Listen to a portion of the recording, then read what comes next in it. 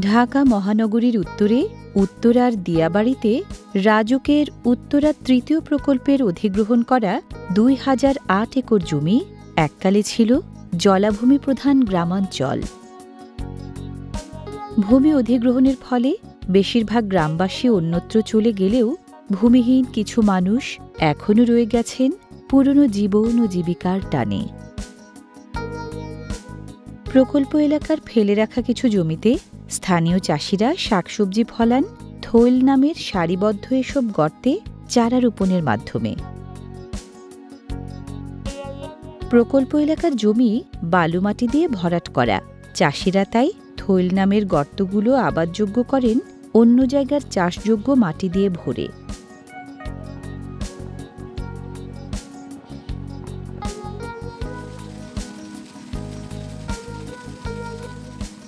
থৈল নামের গর্তগুলোয় প্রয়োজনীয় গোবর, জৈব সার টিএসপি ফসফরাস, দস্তা ও পটাশ বা লাল সার প্রয়োগের পাশাপাশি চাষিরা বিশেষ ব্যবস্থায় জলসেচ প্রদান করেন।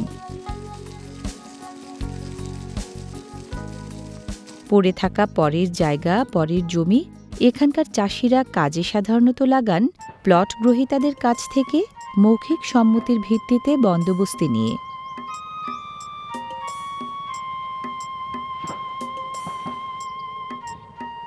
থৈলে রোপণ করা চারার জন্য বাঁশের খুঁটি পুঁতে তাতে দড়ি টানা দিয়ে এভাবে জাংলা বানান চাষিরা। আলাদা জমির বীজতলায় বীজ বপন করে চাষিরা ঋতুভিত্তিক নানা ধরনের শাকসবজির চারা ফলান, মূল ক্ষেতের থৈলগুলোই রোপণ করার জন্য।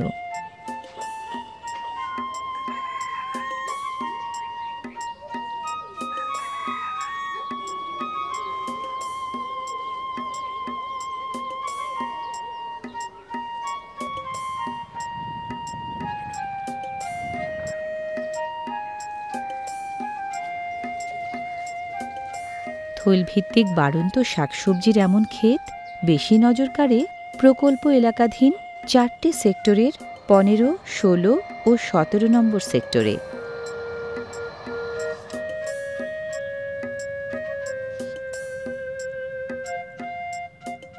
মনকারাই হলদে ফুল ধুন্দুলের। ধুন্দুলের মতো নানা ধরনের লতানো শাকসবজি সাধারণত বেশি ফলানো হয় দড়ি ও খুঁটির জাংলায় জাংলায়। প্রকল্পের অধীনে আসার আগে পুরো এলাকা ছিল ধানি জমিতে ভরা। এখন শাকসবজির চাষটাই বেশি এখানে।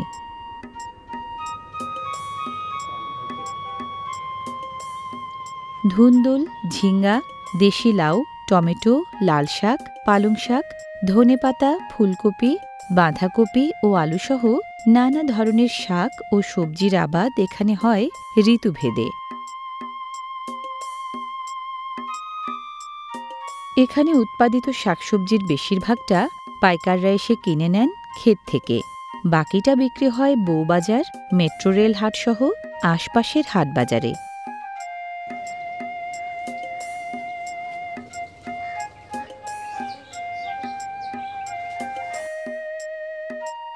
ভূমি অধিগ্রহণ হলেও প্রকল্প এলাকার পরিকল্পিত উন্নয়ন শতভাগ না হওয়ায় ষোলোহাটি গ্রামের মতো একাধিক গ্রাম এখনও টিকে আছে এখানে ওখানে। আঠারো নম্বর সেক্টরে অবস্থিত এই ষোলোহাটি গ্রামটির পশ্চিমে রাজুকের অ্যাপার্টমেন্ট ব্লক আর পূর্বদিকে মেট্রো রেলের উত্তর অংশ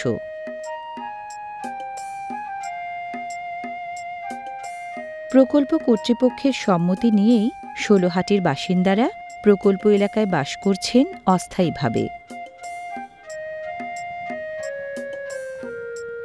ষোলোহাটি গ্রামের বাসিন্দাদের কেউ কেউ কৃষিকাজের পাশাপাশি গবাদি পশু পালেন বাড়তি আয়ের জন্য।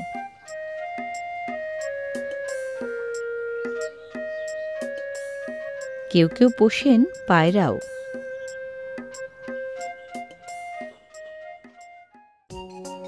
প্রকল্প এলাকার উন্নয়ন কর্মকাণ্ড গতি পেলে অস্থায়ীভাবে থাকায় গ্রামবাসীদের একসময় ছেড়ে যেতে হবে প্রকল্প এলাকা।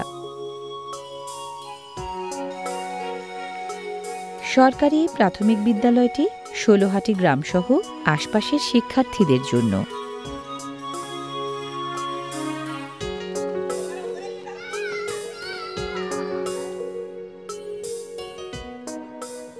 ষোলোহাটির কেউ কেউ জীবিকার তাগিদে ফুল ফলান নার্সারিতে।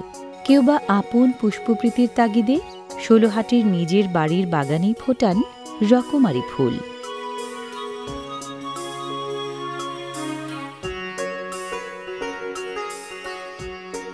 চারপাশের আকাশ ছোঁয়া অট্টালিকার মাঝে ঐতিহ্যবাহী মাটির ঘর এখনও নজর কাড়ে ষোলোহাটিতে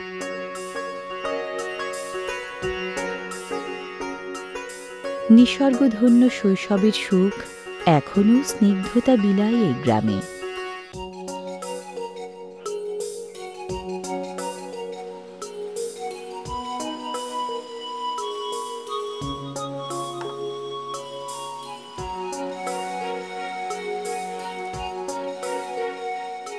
দৈনন্দিন খাবারই হোক কিংবা শখের কোনো মুখরোচক খাবার, ষোলোহাটির বাসিন্দারা রান্নাবান্নার দরকারি উপকরণের বেশিরভাগের যোগান এখনও পান নিজেদের উৎস থেকেই।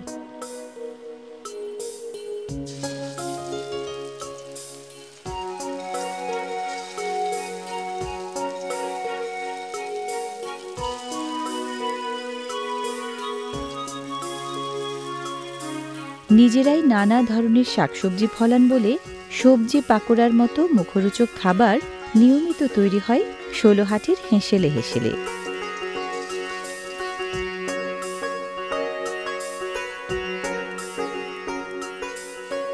পেঁয়াজু বা ডালের বড়াও পিছিয়ে নেই জনপ্রিয়তায়।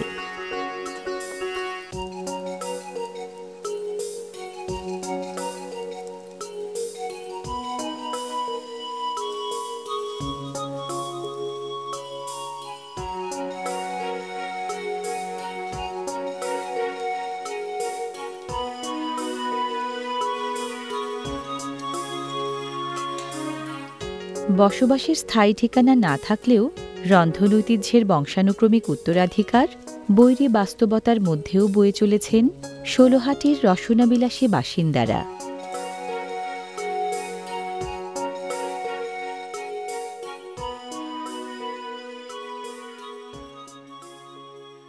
এখানে আমরা অনেক দিন ধরে বসবাস করতেছি। এখানে মূলত আগে আমরা এই যে জমির মধ্যে বর্তমান আছি মূলত আগে আমরা ওই দিকে ছিলাম। ওইখান থেকে উঠে এখানে প্রায় তিন বছরের মতো এখানে আছি।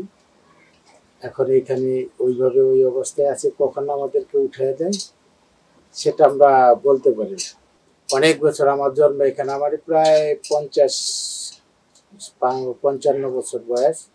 আমার বাবা এখানে, আমি এখানে, আমার দাদারা এখানে। এখানে আগে এগুলো সব ধান জমি ছিল। আমরা চাষাবাদ করতাম। আমাদের পেশা হলো কৃষি।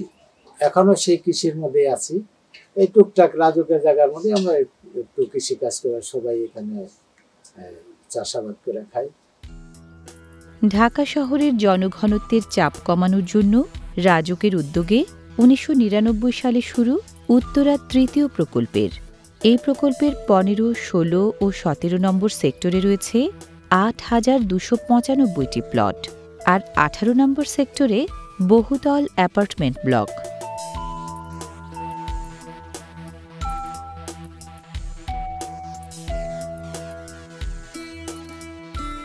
পরিকল্পিত এই প্রকল্প এলাকার নানা জায়গায় আছে গোটা বারো নয়নাভিরাম লেক এবং সমান সংখ্যক সেতু।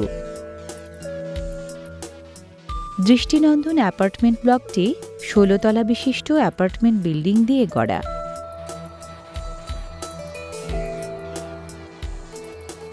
উত্তরা তৃতীয় প্রকল্পের ধার ঘেঁষেই মেট্রো রেলের উত্তর অংশের একাধিক রেল স্টেশন।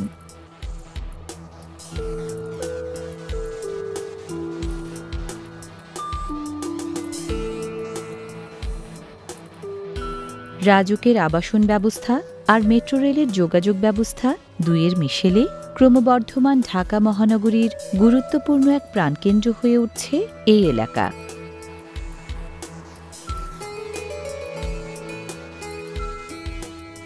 উত্তরা তৃতীয় প্রকল্পের দিয়াবাড়ি লেক, ঢাকা মহানগরীর বিনোদন পিয়াসী নাগরিকদের অন্যতম পছন্দের জায়গা।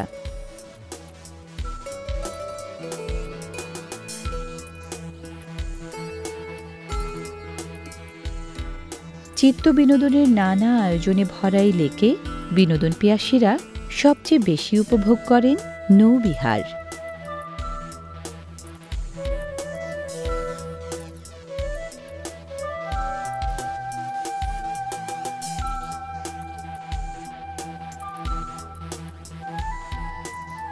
এককালে জলাভূমি প্রধান দিয়াবাড়ি থেকে আশপাশের মিরপুর, আশুলিয়া বা টঙ্গীতে যেতে নৌকা ছাড়া উপায় ছিল না। এখন যাতায়াতের বিকল্প ব্যবস্থা গড়ে ওঠায় নৌকার ব্যবহার শুধু চিত্ত বিনোদনে।